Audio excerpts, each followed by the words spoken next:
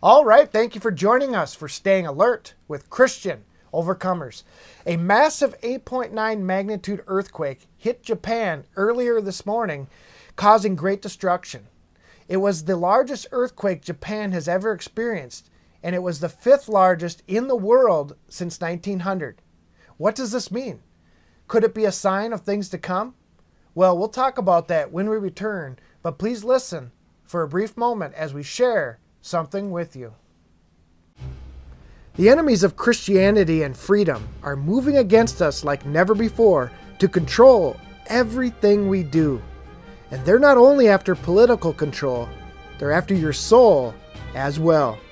So find out the things you need to know to overcome them by ordering Victory Over Evil on DVD. In this special biblical documentary, you will find out what 666 actually means. You'll learn about Satan's Trinity and how it operates. You'll discover the meaning of the six pointed star. You'll see how 666 was originally written. You'll learn about the secret force behind the New World Order we're seeing arising today, as well as many, many more vital things that you need to know if you want to be an overcomer who attains victory over evil. So order online today at www.christianovercomers.com. You know, faith and love alone won't get you through this battle. You must know your enemy in order to be a Christian overcomer. Hey Ben, it's good to be back with you again. You too. In the introduction, you alluded to the fact that this earthquake may be a sign of things to come. Mm-hmm. What is your biblical basis for this statement? Well, when asked by his disciples, um, Christ said in Matthew 24, Mark 13, and Luke 21 that earthquakes would be one of the signs to look for concerning the end times. Um, I think we should go and look at one of those places. You could go to any one of them on your own if you want, uh, on your own time, but we'll go to Mark 13, verse 8. And Christ says, For nation shall rise against nation, kingdom against kingdom, and there shall be earthquakes in diverse places or in many different places. And we're kind of we've been kind of seeing that happen um, as of late. Seems to be increasing. And there shall be famines and troubles. These are the beginnings of sorrows, or these are the beginning of beginnings of the birth pangs, uh, the beginnings of the tribulation. So I guess to answer your question, if Christ tells us that these are things to look for, um, then I think we should pay attention. Right. So some would say though, how can earthquakes be a sign of the times when they've been happening as far as we know all the way throughout history? Yeah, I guess uh, I think Luke 21, I think it's uh, verse 11, will give us the answer to that. Is that I don't think these are what Christ is talking about. What Christ is talking about here, I don't think he's talking about just any old earthquake. Um, in fact, in Luke 21, verse 11, it specifies that there shall be, uh, and great earthquakes shall be in diverse places. So I guess then you'd have to define, you know, what is great. Is it uh, 8.0 on the Richter scale? Is it 9? Or, you know, it, would it be 10 or above? Right. Um, I guess then you'd have to go that route. But um, other things that, you go ahead. Well, I was just going to say, you know, in the in the introduction, you also mentioned that there was a tsunami, and there's a lot of tsunami watches, uh, even in our country. But Mm-hmm. That's other, right. you know, I think I heard there's a ton of countries out there that have watches right now. Mm-hmm. And if you in Luke chapter 21, if you go down to verse 25, it also says, "And there shall be signs in the sun and the moon." And in the stars, and upon the earth, distress of nations, so civil unrest Mm-hmm. with perplexity. And it also says, the sea and the waves roaring. That's interesting. To me, it would seem to be tsunamis. Yeah, So, and we've had a couple of them in the last few years. But, absolutely. I would agree with that. And um, also, just to draw from that a little bit more, these earthquakes we're seeing are kind of happening in conjunction with uh, the civil unrest among nations. We're seeing a lot of that today, as well as many of the nations on the verge of bankruptcy and financial trouble. right. So it just seems that this is all part of one big, uh, big group of events that, that Christ told us to look for. you Right. know.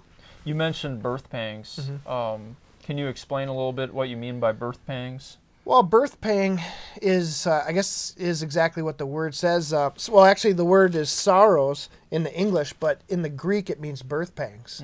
Um, from Luke 21, verse uh, 11 Um, actually, it was uh, It was from Mark 13. Mark I think 13. where you said it. But yep. yeah, Mark 13, verse 8.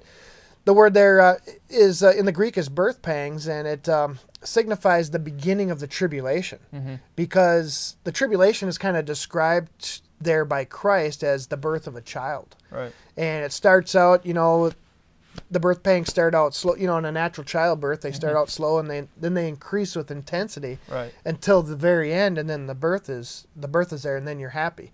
Kind of signifies all the way through the tribulation to the end. It gets more painful, and then we're then Christ returns, and we're in the the uh, millennial age, Mhm. and things are you know they're better. They're full of joy. Right. Which seems to kind of be happening today. It Mm-hmm. seems like things keep happening closer together and faster and harder, and Mm-hmm. it's getting a little bit more intense. It seems like. Yeah, and I'm glad you brought that up. You could almost like Christ uh, said that these earthquakes were kind of the beginnings of the uh, sorrows. Mhm. You, you kind of think of it as you know the mother is kind of you know it's kind of a convulsion or a shaking within her body. Right. it almost kind of seems that the the earth is kind of a uh, you know an example of that or a type of that but worldwide like a birth pang would be that that shock Mhm. that shock and awe of the earth going rather than the mother's contractions Right. so it's kind of like the um, the earth is getting ready to birth a child Right. in a sense Interesting. which would be the return of jesus christ we know uh, from bible prophecy Right. You know, the other thing I heard too, um, you know, it's been all over the news, but you mentioned that this is the fifth largest earthquake that we've had since 1900. Mm-hmm. Um, I believe it's also the seventh largest earthquake that has ever been recorded Mm. all throughout history. But Mm-hmm. obviously, going back, I don't know if they could track the the actual magnitude. But I just thought Mm-hmm. that was kind of interesting. yeah, I guess to get uh like I mentioned before is you know when Christ mentioned that there would be great earthquakes, well, how do we define great Mhm. on the Richter scale? Right. That that's what we use now. Well, to give you some perspective, uh, well, on May 22nd, 1960, um, in Chile, there was an earthquake uh, measured at 9.5 on the Richter scale, and that was said to be the largest recorded earthquake ever in the history of the world Right. But that doesn't mean it's the largest that has ever occurred. It's just the only the largest we've recorded, according to the Richter scale. But to get some perspective to this, a an earthquake measuring 10 on the Richter scale would measure 31.6 times uh, more powerful as an earthquake that measured 9.0. Wow. So that kind of lets you know that each point on the Richter scale is a pretty pretty significant Pretty change. emphatic. Yeah, and and um, I was doing some research on this, and they're saying that to get an earthquake of 10.0 or greater would most likely happen as a result of a uh, a large um, meteor or an asteroid hitting the Earth. And when we read in Luke 21, um, I believe it was verse 25 there, when he mentioned, uh, he, he kind of went back and mentioned the signs that we should be looking for. He said we'd see signs in the sun and in the moon and in the stars. Upon the earth, distress of nations with perplexity, the sea and the waves roar, uh, roaring. And then in verse 26, he says, Men's hearts failing them for fear and for looking after those things which are coming upon the earth, for the powers of heaven shall be shaken. But I guess uh, what I really want to do is go back to um, the prior verse here, um, verse 11, where after he mentions the great earthquakes, he mentions that there would be fearful sights Mm. and great signs from heaven. hmm So I wonder, you know, that could be uh, your large meteors or asteroids as well. Right. And uh, we know from the book of Revelation, there is a great earthquake that actually announces the uh, seven trumpets. Right.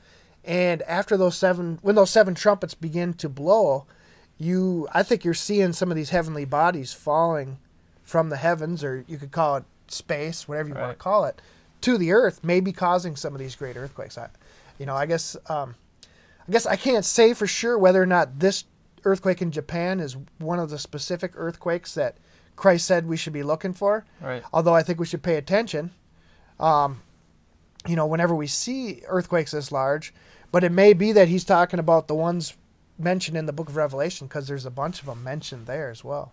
Yeah, that's true. I mean, how do you know which ones are you're supposed to be paying attention to, or is it all of them? You just mentioned Chile had a big one in the year 1960, I believe. Mm-hmm. Yeah. There was a big earthquake in Chile a week ago, Mhm. and actually there's been a actually the one that happened in Chile is kind of fascinating. You can look this up on Yeah. on your own time. But the town where that earthquake happened is kind of uh, interesting. And then there was also another interesting one that happened over in New Zealand recently, within the last couple weeks. in the town where that one took place, Yeah. the name of the town is kind of fascinating. But they're happening all over the world. I know even in our own country. Uh, Arkansas, for instance, I think Yeah. they've had like 500 or 600 earthquakes just since September alone, Hmm. and just recently they just had their biggest earthquake. I think that, that out of that um, number of earthquakes, at least recently, that they've had as well. Yeah. So they're happening all over the world. And I, I guess going back to um, the other events that were mentioned is that we're seeing many of these other events that Christ mentioned in these chapters Right. happening, starting to happen today. So these earthquakes, like I, I guess you would have to say, they probably are these signs that Christ told us to look Right. for. And- these birth pangs. And it's all simultaneous. It's they're all kind of happening at the same time. So yeah. Interesting. So Oh, I was going to say too is, um, you know, we were not only uh, told to look for, you know, our topic today is what happened in Japan. You know, being that there's an earthquake, we're we're staying alert and we're looking at it. But there aren't only going to be, you know, magnificent uh, natural signs that we are to look for. There's also signs such as in Revelation chapter 13, where we see a beast rise up out of the sea. Right, Well, we know that's not a, a literal thing happening there. It's a um, it's a, a one world political system arising upon the earth, Right. and that's also another sign that we are told to look for that's happening today as we speak. You you always you hear talk of it all the time. Uh, a new world order, a need for a world or, a world order, a need for you know a better government to supply the needs you know supply uh, better needs to um, or a better system of redistributing the wealth to mm-hmm. the world so there's no poor nations and things like that. But a sign like that, only someone with eyes to see and ears to hear is actually going to be able to see that. It's kind of a spiritual sign as Sure. well. So I just mentioned that because those are just as important to look for as is an earthquake. right. So basically, what you're saying is that these earthquakes are just kind of one one piece to the puzzle. Yeah. and there's other things that we need to be watching for as well. And I think these chapters that, that you just mentioned here, at least that we're reading from today, uh, Matthew 24, Mark 13, Luke 21, kind of gives you a list of It those does. different things that are going to be happening.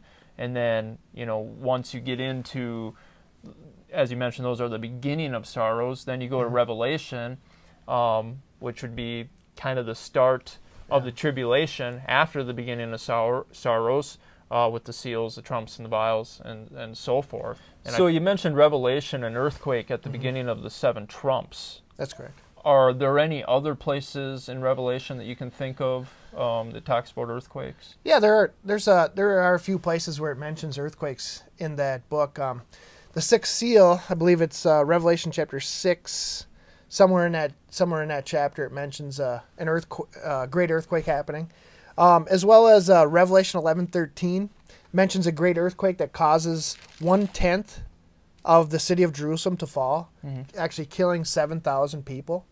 Uh, some believe those are the seven thousand fallen angels, but either or, there's a, there's a great earthquake that causes uh, you know a tenth of that city to fall there. In Revelation eleven nineteen, after the two witnesses arise after being uh, laid out in the street for for a period of uh, three days, uh, there's a great earthquake. Revelation sixteen verse 8, 18 um, is actually the great um, Revelation 16 verse 18 is actually the greatest earthquake that will have ever been upon the earth since mankind was created. Wow. And um, it actually mentions there, let's just turn there, Revelation 16, verse 18, because this is the greatest earthquake that we'll ever see if we live during this time, which um, I kind of think is uh, looking like we're getting close to that.